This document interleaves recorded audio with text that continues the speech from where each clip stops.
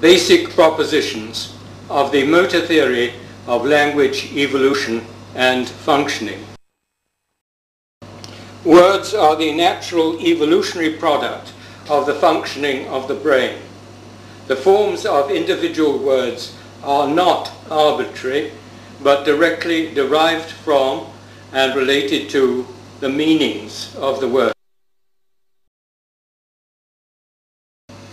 Speech is the result of an evolutionary exaptation,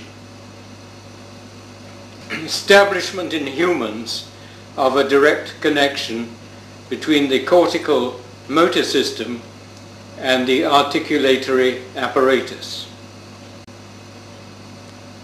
In the evolution of language, shapes or objects seen, sounds heard, and actions perceived or performed generated neural motor programs which, on transfer to the vocal apparatus, produced words structurally correlated with the perceived shapes, objects, sounds, and actions.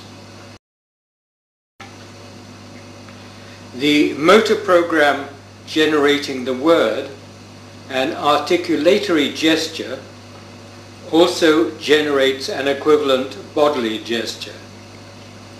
Gesture mediates between word structure and word meaning. In the case of a different word in a different language for the same meaning, a similar final gesture is generated by a different intermediate trajectory associated with different speech sound elements going to form the different word.